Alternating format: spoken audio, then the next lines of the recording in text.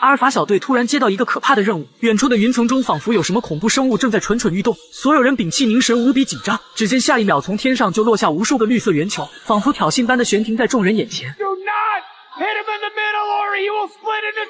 话音未落，从空中就赫然出现一只百米大蜈蚣。士兵见状，连忙对其不断酷吃。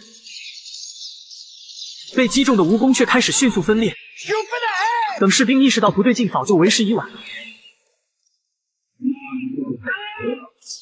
眼看局面瞬间向着怪兽不断倾斜，强哥二话不说，连忙上前加入战斗。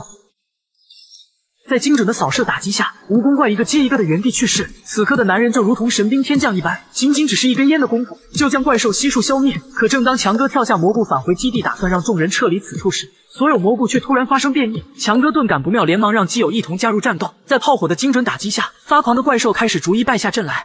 而面对着袭来的恐怖生物，士兵却被吓得目瞪口呆。而强哥两人不仅越打越嗨，还在战役中不断刷新着自己的分数记录。可紧接着，一只蜈蚣怪却突然发难，向着街道疾驰而去。强哥见状，立马紧随其后。眼看蜈蚣怪一路火花带闪电侵入居民楼后，一跃而下，打算逃出升天。危急时刻，好在强哥及时出现，这才将其送入地狱。事后，由于两人的精彩表现，总统随即便任命他们为第一先锋，以后专门处理这样的紧急状况。可就在打怪小队才刚组建完毕，控制室就突然传来紧急状况，几人不敢迟疑，立马赶到现场。而后强哥就瞬间发现诡异的一幕，只见一头硕大的糖豆人正在街上不断酷吃，只是转眼间的功夫，他就迈着三十马赫的速度来到了几人眼前。老金见状也立马下车，可正当他打算利用言语来感化怪兽时，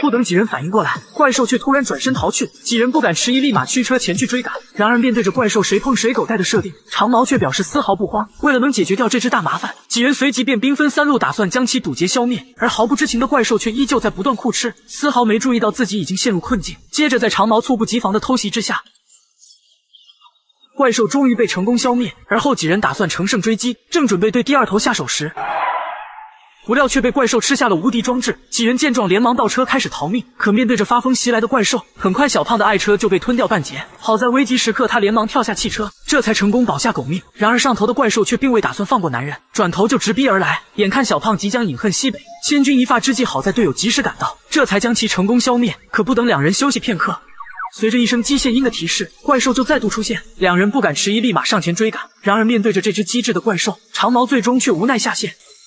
而根据雷达显示，此时还有最后一只怪兽尚未解决。倘若小帅没能顺利完成任务，那世界终将毁于一旦。不出意外的话，意外即将发生。没等强哥反应过来，眼前的怪兽就成功吞下了无敌装置。看着上头的怪兽已然袭来，男人随即立马倒车落荒而逃。然而面对着眼前这头无敌的存在，强哥却丝毫不慌的做出了一个违背祖宗的决定。